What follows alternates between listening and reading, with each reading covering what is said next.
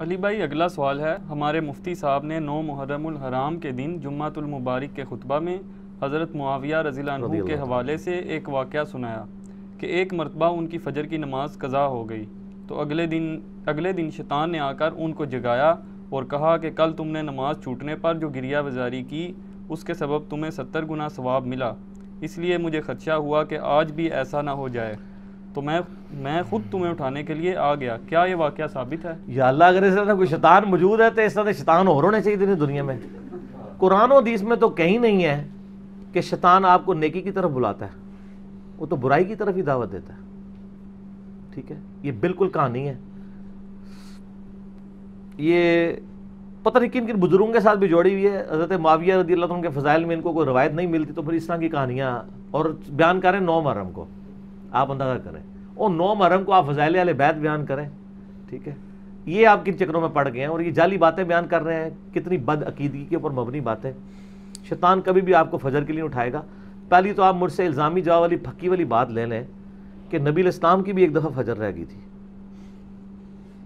اور کتنے صحابہ کی فجر رہ گئی تھی، غزوہ تبوک سے واپسی پہ، صحیح مسلم میں حدیث ہے۔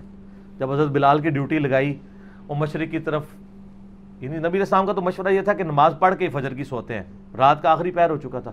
صحابہ نے کہا، سر، تھوڑی جی ٹیک لا لئیے تو آپ مشورہ مان لیا۔ حضرت بلال کی ڈیوٹی لگائی کہ مشرق کی طرف جہاں سے پو پھوٹتی ہے، وہاں طرف دیکھتے رہو اور اونٹ پہ بیٹھے رہو۔ جیسے ہی وہ سفیدی نکلے گی، ایک سفیدی نکلتی ہے، فجر کا وقت داخل ہوتے وقت۔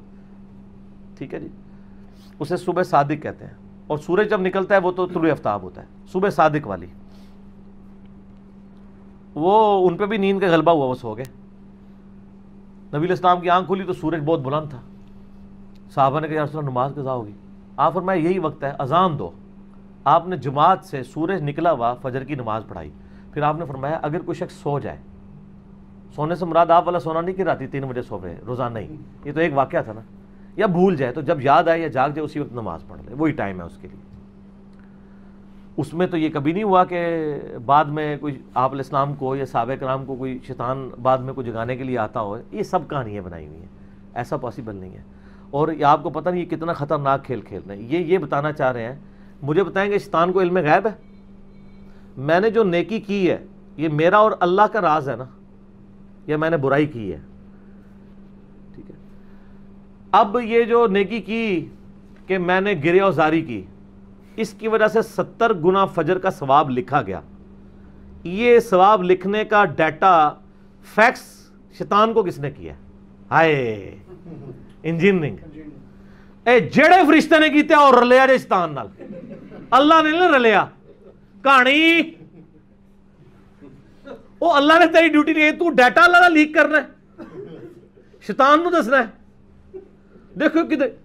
ویسے یہ کہیں گے جی وہ بزرگوں کو بھی علم غیب نہیں ہے۔ یہ ایک دیوبندی مفتی کا واقعہ ہے اور یہ اوریجنل واقعہ ہے۔ یہ ایک بھائی نے فون پہ سنایا تو میں نے اس کو سوال کے طور پہ پھر ایڈ کروایا تو یہ دیوبندیوں سے ہم پوچھتے ہیں، آپ یا اللہ مدد کہتے ہیں اور کہتے ہیں آپ علم غیب آپ نبی کے لیے بھی نہیں ماننے کے لیے تیار ہے تو یہ شیطان کو جو علم غیب ہے، یہ کہاں سے ہو گیا ہے؟ اور فرشتے کیا یہ اللہ تعالیٰ کی باتیں لیک کر کر کے ان کے شیطانوں کے کان میں ڈالتے رہتے ہیں؟ اور وہ پھر آگے اگلے دن جگاتے ہیں۔ بالکل کہانی ہے کہ جو اور بتا دیتے ہیں کہ جی شیطان سر کبھی بھی آپ کو جگانے کے لیے نہیں آئے گا اور اللہ بھی آپ کو کبھی جگانے کے لیے نہیں آئے گا۔ دنیا پہ قدر ایفٹ ہے۔ میں نے بار بار کہا آپ کو کہ اذان ہوگی تو آپ کے قدم مسجد کی طرف کبھی بھی نہیں اٹھیں گے خود بخود۔ آپ کو اپنی ول سے اٹھانے ہوں گے۔ اور برائی کی طرف جب آپ بڑھیں گے تو زمین آپ کے پاؤں من من کے نہیں ہوں گے وہ آپ کو خود ہی روکنے پڑیں گے۔ ٹھیک ہے؟ یہ اللہ تعالیٰ نے دنیا میں ولدینہ جاہدو فینا لنہدینہم ہے۔ جو لوگ کوشش کریں گے ان کے لیے ہماری راہیں کھل جائیں گی۔